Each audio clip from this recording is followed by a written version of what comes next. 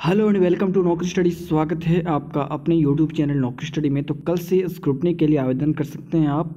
Inter वार्षिक परीक्षा 2021 के रिज़ल्ट से असंतुष्ट अनसेटिस्फाइड स्टूडेंट्स स्क्रूटनी के लिए एक अप्रैल से यानी कल से आवेदन कर सकते हैं। बिहार विद्यालय परीक्षा समिति के अध्यक्ष आनंद किशोर ने बताया कि इंटर के रिज़ल्ट से जो भी छात्र असंतुष्ट हैं, वे एक अप्रैल से स्क्रूटनी के लिए आवेदन ऑनलाइन कर सकते हैं। एक से सात अप्रैल तक स्क्रूटनी के लिए आवेदन का मौका दिया जाएगा।